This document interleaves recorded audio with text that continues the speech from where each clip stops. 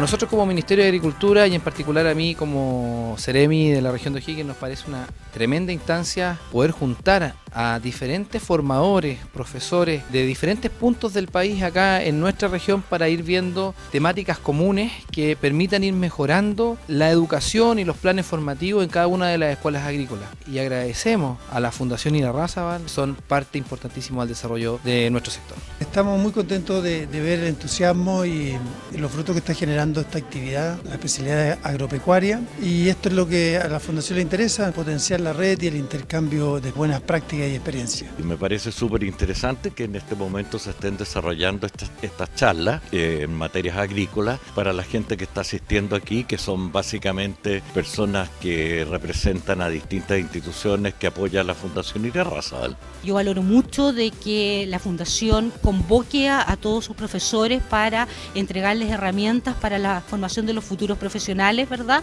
Y de irlos preparando, digamos, ante escenarios tan complejos como el cambio climático, que fue la temática que a mí me tocó desarrollar. Encantados de, que nos hayan eh, elegido como sede para este seminario. Ha sido una muy bonita jornada de conocer la experiencia de otros colegios, de las problemáticas que tenemos en común, de las soluciones que podemos tener también en común. Ha sido muy beneficioso.